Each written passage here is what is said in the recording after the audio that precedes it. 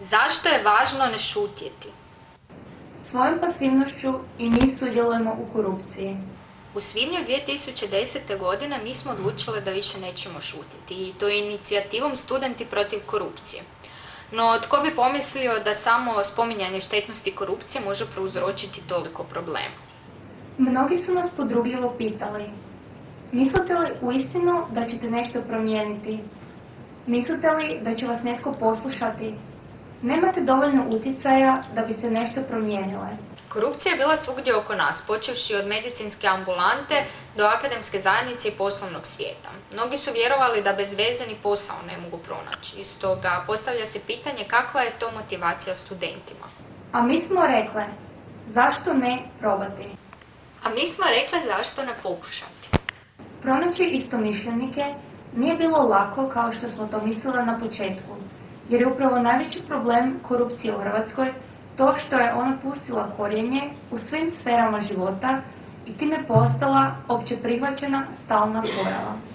Tražili smo potporu istomišljenika sa svih sastavnica sveučilišta u Zagrebu koji će nam pomoći u širenju naše ideje.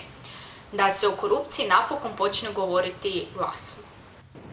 Odlučili smo probati promijeniti mišljenje i stav prvo studenta, a nakon toga i šire populacije, organizirajući tribine, razne debate, predavanja i koncert na trgu Bana Josipa Jelačića.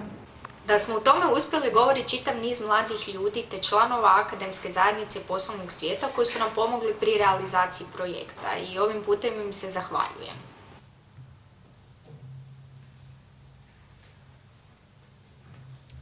Dakle, kako smo mi koji stojimo ovdje pri uključivanju u ovu inicijativu gledali na korupciju?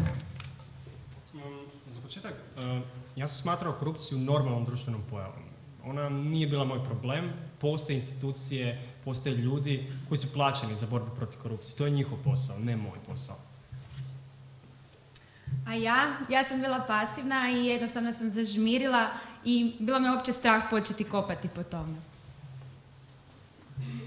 A ja sam razmišljao kaj, cijelo društvo je korumpirano, kaj ću ja to? Ja, ja sam mislila da postoje puno bitnije stvari kojima se ja mogu baviti, u koji ću trošiti svoje vrijeme i energiju. Sljedeća stvar je što nam je zapravo otvorilo oči i promijenilo naš stav. Uh, iskreno, ja sam doživio uh, velik broj puta nepravde na svojoj koži. Učiš satima, trudiš se, pohađaš predavanja, izvodiš vratolomije za veću ocjenu, brojne neprospravane noći prije ispita imaš. I onda netko ko ne pohađa predavanja, povlašteni pojedinac koji znači ne dolazi na predavanja, ne uči, postigne na, na ispitima bolji rezultate od tebe i kasnije se još hvali okolo u društvu da je kupio ispit. Mm, jednostavno, ko je tu lud? Mm, smatram da, da bi se trebalo da on obezvrijeđuje moju diplomu. Znači, ta osoba pridonosi umanjenju vrijednosti moje diplome i ja to ne želim dopustiti. Dakle, ja sam studentica ekonomskog fakulteta i vjerujem da će se ekonomisti sa mnom složiti. Svakodnevno trpimo poniženje na svoj račun. E, ekonomistice kupi se diplomu kao plaćaš li kešom ili kreditnom karticom. A ja sam gledao onak da znam toliko puno svojih prijatelja koji su pisali faks, samo zato kaj su mislili kaj bit će para nakon toga ili kaj imam ja već posao sređen.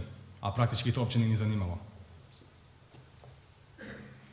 Ja sam se evo baš neki dan prijavila za jedan natječaj na za posao i čekala sam odgovor, čekala, čekala i naravno dočekala sam ga. Saznala sam da je natječaj bio namješten, dakle posao je dobila osoba preko veze. Ja sad nemam naravno posao. E, vezano za sve ovo, što smo mi odlučili poduzeti?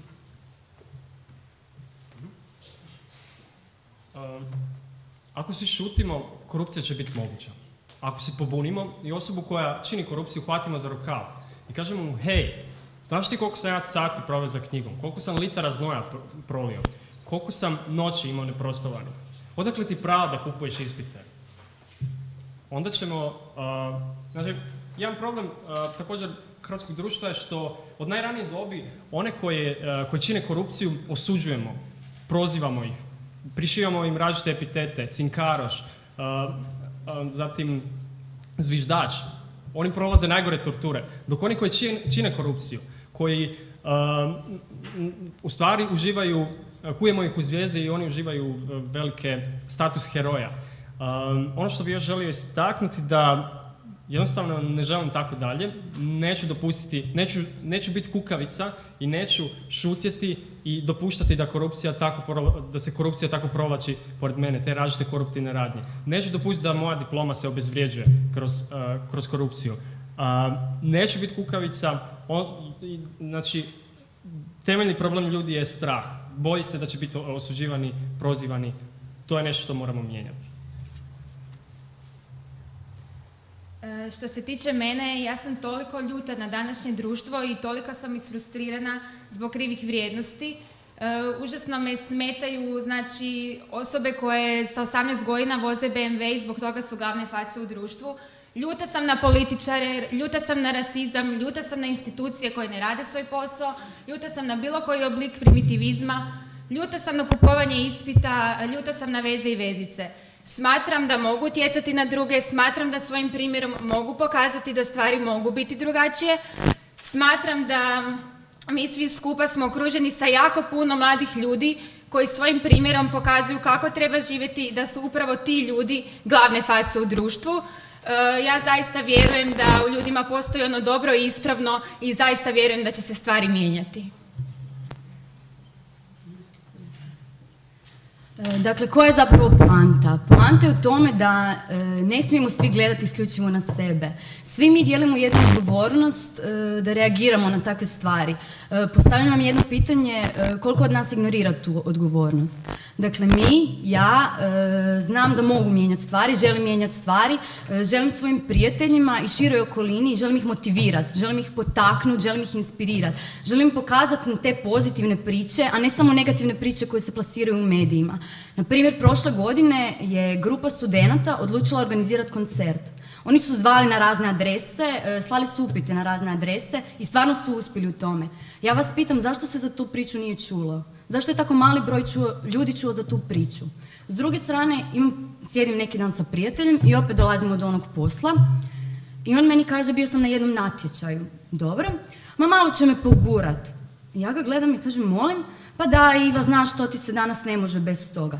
Ja ga gledam, on je student pete godine faksa, on pet godina ide samo na kave. I mislim si, koliko sve mogućnosti ima. Dakle, mi danas imamo mogućnost da radimo u udrugama, da volontiramo, da radimo preko student servisa, da idemo na razmjene.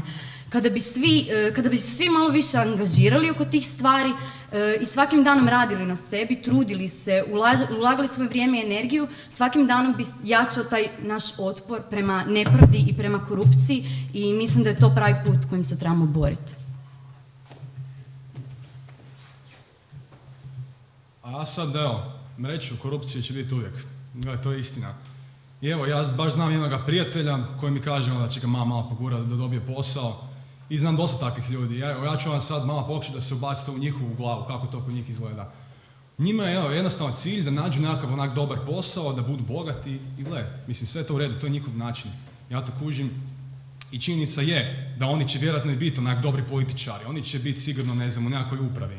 Ali, po meni, kad gledam koja je njihova vrijednost, novac, sve što oni žele u životu je da budu još bogatiji. Znači, oni možda jesu bogati, jesu snalažljivi i sve, ali oni neće nikad biti zadovoljni jer samo žele biti bogati, imati bolji auto, bolji, bolju kuću i sve.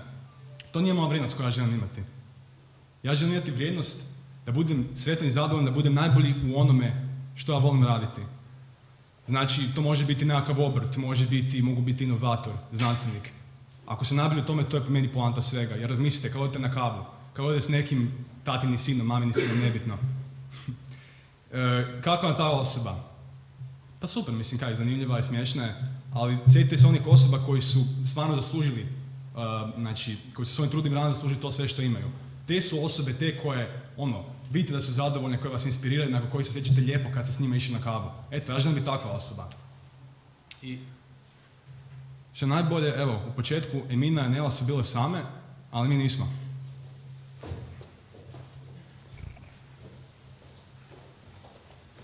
Kad sam se ja priključio ovoj inicijativi, vjerovao sam da je ono za što se zalažemo moguće. Danas studiram i radim i znam da je to moguće.